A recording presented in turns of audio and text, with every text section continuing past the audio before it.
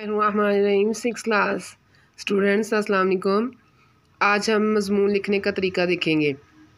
सबसे पहले हमने दरख्वास्त और कहानियाँ और जो खतूत है उसके बारे में उसके लिखने का तरीका हमने किया था। तो आज हम मजमून लिखने का तरीका करेंगे।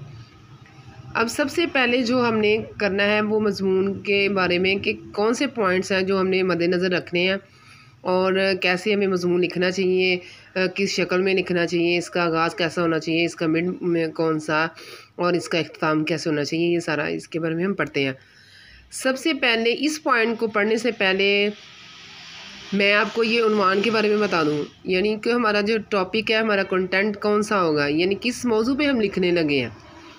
कौन से ऐसे ख्याल जिसका हम इजहार करेंगे, मजमून की शक्ल में हमारा टॉपिक क्या होना चाहिए। तो इसका जो उनवान है वो बहुत मौजू होना चाहिए, यानी कि मौके की मुनासबत से होना चाहिए और दिलचस्प, सादा और आसान होना चाहिए। तो सबसे पहले है, हमें चाहिए कि मजमून लिखने से पहले जो हमारे जो तमाम ख्याल और मालूम है उसको ख़ास तरतीब दें पहले। यानी कि जहन में एक, पहले खाका हमें तैयार करना चाहिए और फिर हमें लिखना स्टार्ट करना चाहिए। यानी कि किस मौजू को हमने जहन में रखा हुआ, कौन सा अनुमान है जिसके टॉपिक पे हम आज ये मजमून लिखेंगे। तो वो सबसे पहले सारा उस, जो भी आपके जहन में कोई खाका है, कोई कहानी है, कोई ऐसी चीज़ है, उसको तरतीब देंगे।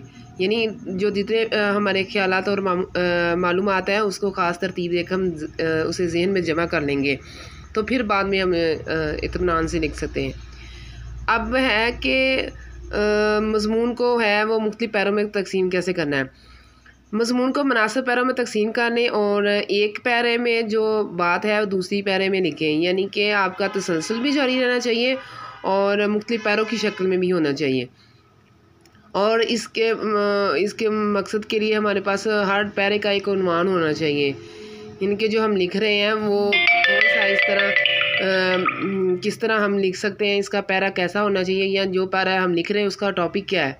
तो उसी को लेकर चले, उनमें तसलसल भी होना चाहिए और एक तरतीब भी होनी चाहिए।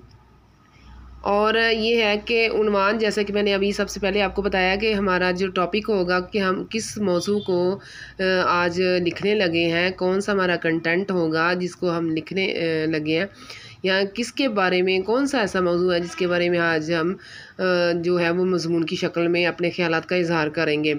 तो कैसा मजमून होना चाहिए? वो उनवान होगा। या उसे कंटेंट बोलेंगे, फहरस्त जो भी है टॉपिक जो होगा।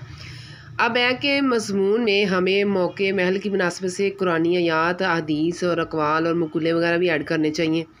उसका हवाला दें तो ये बहुत अच्छी बात होती है। और मजमून में हम मुनासिब अशार भी ऐड कर सकते हैं मजमून के टॉपिक के हिसाब से कि कौन सा मजमून चल रहा है। जैसे हम फ़र्ज़ करें आपके पास मजमून है नबी पाक वसल्लम की सीरत के बारे में। तो इसमें आप क्या लिखेंगे? इसमें आप कुरान हदीस का हवाला आराम से दे सकते हैं।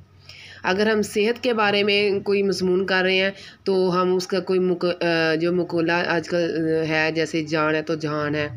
या अगर मेहनत के बारे में है तो मेहनत में अजमत है।